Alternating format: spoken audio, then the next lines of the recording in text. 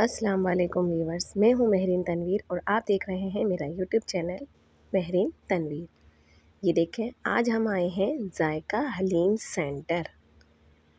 ये देखें आप, यहाँ नीचे के एरिए में शायद लाइट नहीं थी, इसलिए बहुत ज़्यादा अंधेरा आ रहा था। ये हमारी एंट्रेंस थी। कोरंगी चार पर ही ये वाक़ है, हलीम कराची, जायका, हलीम एंड बिरयानी सेंटर यहाँ तकरीबन हर चीज़ खाने की अवेलेबल है। आप यहाँ से कुछ भी ऑर्डर कर सकते हैं। ठीक है ये नीचे का हॉल है।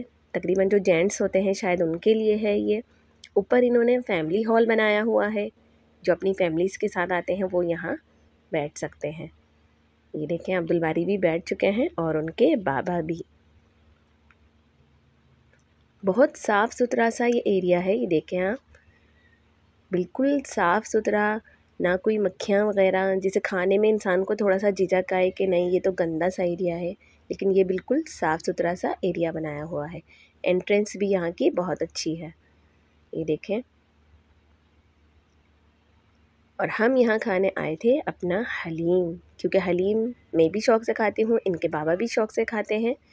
तो हम अक्सर हलीम खाने के लिए इसी सेंटर का इंतखब करते हैं। देखें हाँ बहुत सारे फैमिली हॉल्स हैं यहाँ पर। बहुत सारी टेबल्स लगी हुई हैं। ये इनके बाबा ने ऑर्डर कर दिया है और अब हम इंतज़ार कर रहे थे और अब्दुल बारी यहाँ ड्रामे कर रहे हैं। ये देखें आप टेबल्स लगी हुई हैं, बैठने का अच्छा खासा इंतज़ाम है। तकरीबन सात आठ फैमिलीज़ एक साथ यहाँ बैठ सकती हैं। ये देखें आप, अब्दुल बारी झाँक झाँक के देख रहे थे कि हम यहाँ क्यों आए हैं।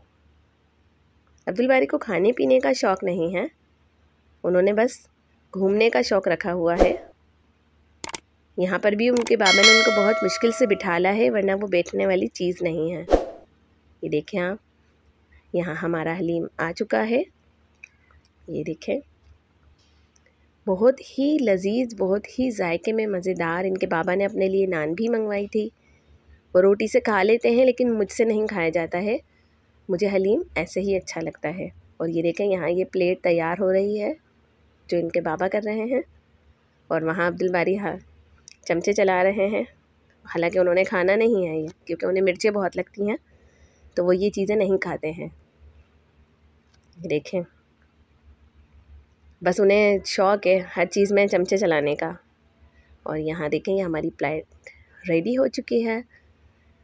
यहाँ पर ये मटेरियल भी इन्होंने खासी अच्छा दिया हुआ है हलीम के साथ। जैसे इसमें लीमू है, प्याज है, सब चीज़ें हैं। अदरक है, हरा धनिया है, पुदीना है, ये देखें आप। देखें। हरी मिर्चें जो शौक़ से खाता हो वो खा सकता है, मैं तो खैर नहीं खाती इतने उससे। ये देखें इनके बाबा को देखते हुए इन्होंने भी एक बाइट यहाँ लिया है। ये देखें आप तोड़ेंगे ही लेकिन खाएँगे। तो इन्हें खाते ही मिर्चें लगना शुरू हो जाए। ये देखें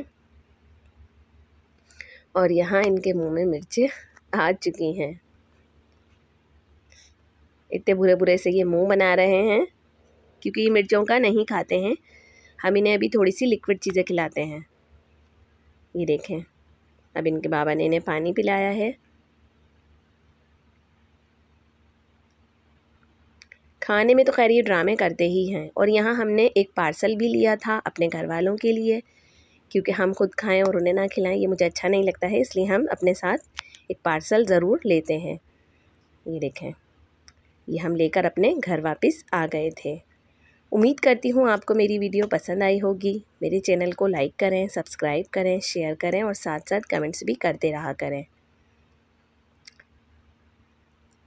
कराची जायका हलीम सेंटर। जिसने भी हलीम खाना हो, वो इस सेंटर को ज़रूर ट्राई करें। बहुत ही लजीज किस्म का यहाँ हलीम है।